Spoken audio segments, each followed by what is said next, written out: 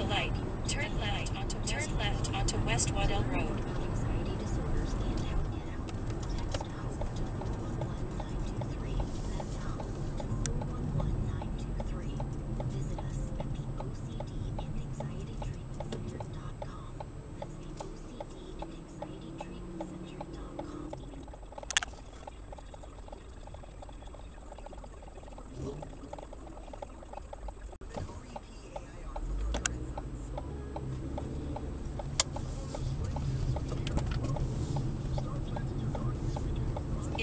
5 miles, turn right onto North 127th Avenue.